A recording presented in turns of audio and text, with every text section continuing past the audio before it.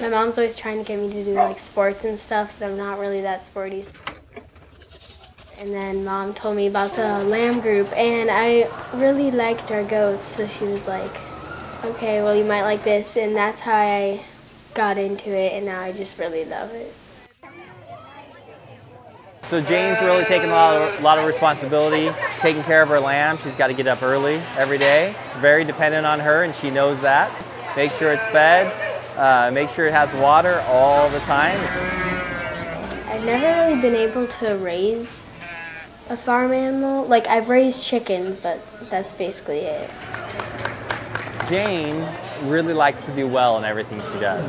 And she didn't do as well as she thought she might, and she was a little upset by that, but uh, that's part of what they're learning here. I'm so stressed. No, it's okay. Don't be stressed. She's going to help you clean them off. Don't be stressed. It's okay. Soon they'll be walking through the auction, and we'll see how it all turns out in the end. I really love Korrie. He really loves me. I don't know. It's just like he's so cute and adorable, but I need to sell him obviously, and it's like it was conflicting at first, but like I'm really happy because he's already bred for this.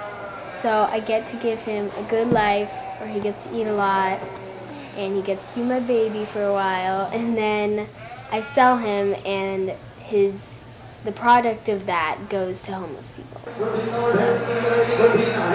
You're not in. Sold at 12, and that's fire number 50. And that little guy, I think, has been sitting here every year. It turns out good in the end for everyone.